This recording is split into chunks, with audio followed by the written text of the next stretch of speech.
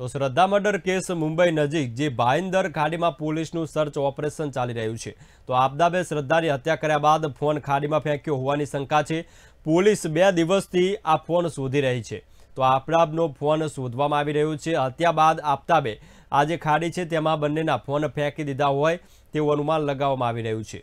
તો પોલીસ દ્વારા અત્યારે સર્ચ ઓપરેશન ચાલી રહ્યું છે, જેને લઈને અત્યારે કહી શકાય કે પોલીસ ત્યાં સ્ટેન્ડ બાય છે અને છેલ્લા ઘણા સમયથી પોલીસ ત્યાં ફોનની શોધખોળ કરી રહી છે. તો શ્રદ્ધા મર્ડર કેસ કે જેમાં કહી શકાય કે અત્યારે સમગ્ર દેશમાં હાહાકાર મચાવી દીધો છે.